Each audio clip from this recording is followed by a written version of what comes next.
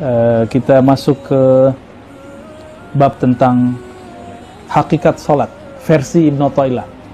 Ya. Jadi di zaman itu ma'rifat sholat turunnya segitu. Karena ma'rifat kan bertambah terus uh, pengetahuannya. Ya, secara harfiah kita tarjim ya. As-salah, sholat itu idealnya karena ada lafaz alif lam. Jadi kesempurnaan sholat itu ada natijahnya, ada ada buahnya. Apa buahnya? Tuhratun lil kulub. Mensucikan kolbu. Jika air mensucikan hadas, hadas di badan, maka hadas yang sudah masuk ke dalam kolbu, virus-virus dosa, dengki, iri, sombong, itu yang bisa bersihin adalah as-salah. Ya. Min adnasiz zunub, daripada kotoran-kotoran zunub. Zunub ini unik istilahnya, zanbun ya. Kalau orang Arab nyebut zanab kan sesuatu yang sifatnya di belakang, di ekor. Hmm. Maka disebut zunub itu dosa karena kalau habis dikerjakan urusannya ada ada nambah ke belakang. Gitu, ya. Maka disebut adnasiz zunub. Wastiftahun libabil ghuyub. Nah, ini yang paling penting. Istiftah. Apa arti istiftah? Membuka kunci libabil ghuyub, bab kegaiban. Makanya kalau versi Syekh Mansur nggak ada tawar menawar masalah sholat itu ya. Jadi memang harus didirikan syariatnya. Walaupun kita baru tataran belajar ya harus. Kecuali antum udah bisa cara sholat yang lain. Ya intinya sholat kan akimis sholat dzikri surat Toha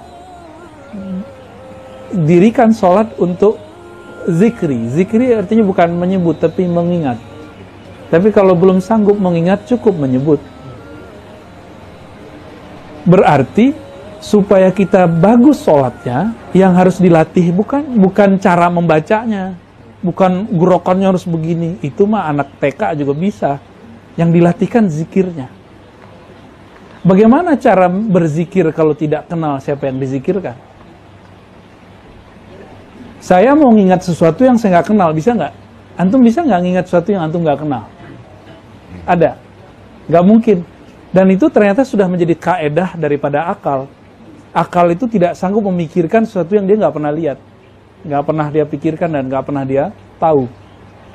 Ini udah konsep di belakang brain kita, otak kita nggak bisa memikirkan sesuatu, membayang sesuatu yang dia nggak pernah ketemu. Nah, pertanyaannya, otak kita pernah ketemu Allah nggak? Yang pernah ketemu Allah siapa? Kolbu aja nggak pernah. Nafs saja nggak pernah. Yang pernah arruh. Arruh pernah ketemu. Jadi kalau torikot kita baru zikirnya di kolbu, nggak ketemu Allah, baru bisa menyebut menyebut Allah. Ingat belum bisa. Jadi si kolbu ini dia kan servernya akal. Akal itu berpikir bagusnya dengan kolbu. Kolbu berpikir dengan apa? kolbu itu kalau berzikir dia dengan ruh. Gitu nyambungnya ke sana. Jadi kalau kita buat, uh, kalau orang awam, dia berpikir, fikroh ya. Bahasa Arabnya fikroh. Fikroh mereka pakai apa? Datanya orang awam itu data empirik. Bahasa Arabnya hissi. Ya. Apa yang dia lihat, itu yang dia jadikan bahan pikiran maka mereka dengan kata Al-Quran dan binatang sama. Ulai kakal an'am. Tapi kalau seorang mukmin, dia servernya nggak di sini, dia servernya di kolbu. Maka di Quran ada dua ayat menyebutkan lahum kulubu yaqiluna biha.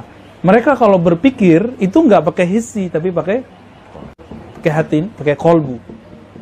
Ah kolbu ini sumbernya dari mana? Kalau dia nggak mengenal yang di, yang disebut, ya dia balik-balik lagi ke sini. Berarti dia harus mengenal. Ah, kolbu itu teman-teman, ada yang jarang diekspos orang. Kolbu itu kan dia artinya sesuatu yang bergerak elastis. Berarti kalau kolbu sudah nggak elastis, dia disebut kaswah, kesat. Kapan kolbu kesat? Kalau dia sibuk sama ini. Ah, ini kalau orang udah sibuk sama hisi, apa yang terjadi? Muncul namanya ghaflah. Ini istilahnya ala Arab dikit ya, biar serem dikit ya. Bang. Enggak, memang kita bisa begitu. ghaflah. Apa arti ghaflah? Lalai. Nah, ini. Jadi kalau orang sholatnya pakai jadi ada latihan, pelatihan sholat di tengah gunung, di tengah hutan. Emang nambah khusyuk? Coba aja gak usah jauh-jauh pergi ke Mekah aja deh. Ini antum yang sudah bertahun-tahun di Madinah, sholat di Masjid Nabi khusyuk gak? Sesekali ya? Sesekali. Pergi ke Mekah, paling awal datang bergetar, tapi kalau sudah datang dua kali, hari kedua aja udah gak ada getarannya. Yang sudah nginap di Mekah berapa hari, nggak ada. Orang malah bengong ngeliatin ada muter-muter. Nggak pernah dia memandang kolbunya. Jadi orang jauh-jauh pergi ke Mekah itu dia nggak pernah merem ke kolbunya. Dia malah ngeliatin orang jalan kiri kan ya kasihan. Sekarang kalau tutup sudah nggak bisa lagi kita umroh kan? Ini nggak tahu saya udah nggak yakin ada umroh lagi kalaupun ada umroh mungkin lokal-lokal mereka aja alalai tapi kalau kolbu kolbu ini kalau dia sudah lalai, dia menjadi lama-lama keras. Nah, namanya koswah. Udah menjadi bahasa Indonesia, kesat. Keras.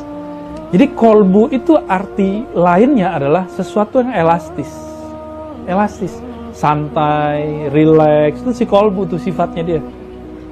Jadi kalau orang sudah keluar dari fitrah kolbunya karena si lalai ini, karena dia lupa mengingat Allah, sehingga masuk kemudian cinta dunia. Kita sih senang sama fulus, senang sama perbenaran dunia, tapi jangan cinta gitu aja. Nah, itu tipis-tipis tuh. Tipis-tipis. Ya bohong kalau orang nggak senang mau fulus kan. Bohong kan? Ya, antum kalau kerja pengen dapat gaji nggak? Kalau nggak ikhlas aja deh. Terima kasih kan gitu kan? Mau nggak digituin? Kan nggak mau.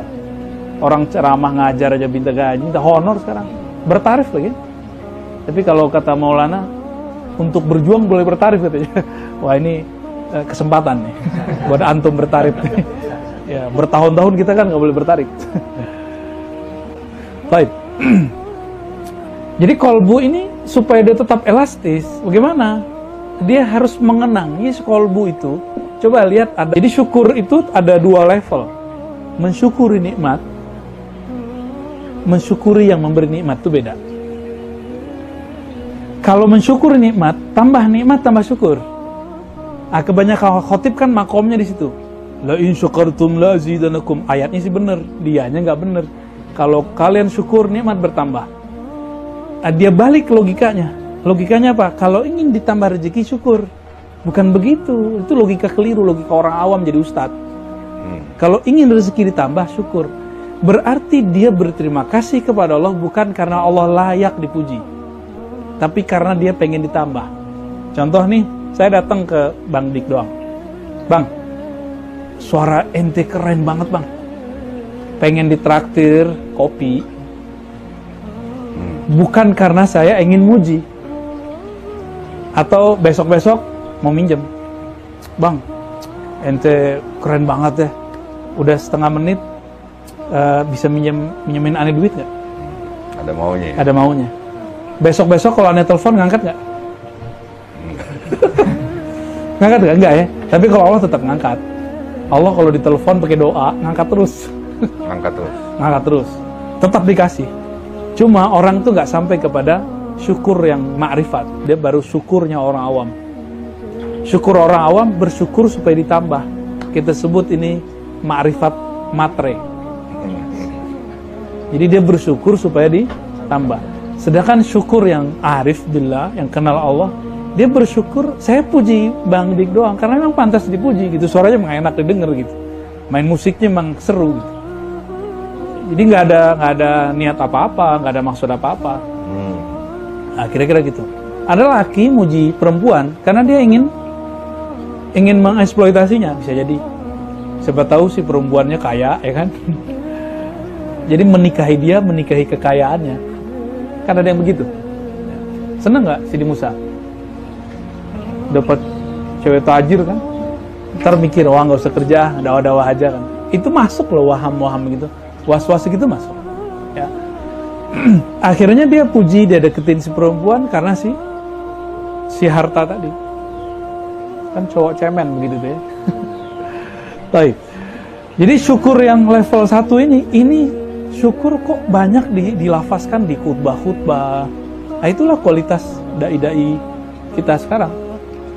Jadi dia nggak pernah syukur karena emang Allah layak disyukuri. Nah ini yang sering kita sebut beberapa waktu ini. Ketemu, lihat mobil bagus, pengen, solawatin. Gitu kan? Secara awam sih benar, udah bagus. Tapi secara ma'rifatullah, dia solawat bukan karena dia rindu Rasul, tapi dia solawat karena dia pengen punya mobil. Ya, Nabi kalau kita minta kepada beliau, beliau pernah nolak nggak? Nggak pernah. Nabi baru pakai jubah, tiba-tiba ada yang minta, nggak nggak ditolak, cuma Nabi bilang, tunggu bentar ya. Nabi pakai dulu, Nabi hargain dulu orang yang beri ini. Sampai berkeringat, ternyata orang itu pengen keringatnya Nabi. Dan dia tahu Nabi nggak pernah nolak si orang ini punya feeling bahwa dia bakal mati dalam waktu yang dekat. Lalu ketika Nabi kasih, semuanya marah dan bertanya, kenapa kamu meminta barang yang baru dipakai Rasulullah? Apa jawaban dia? Aku ingin dekafani dengan jubah yang dipakai oleh Rasulullah. Gak ada yang berani gitu ya. Toh pada minta jubah antum kan? Baik. Ah, teman-teman, di ujung lafaz apa? Wastiftah li babil ghuyub. Jadi sholat itu itu kunci alam gaib. Berarti di dalam diri kita ada supaya dibuka oleh Allah Subhanahu wa taala. Kalau ahli fikih masuk sini nanya, itu bid'ah apa lagi nih? Paling mentar doang kabur.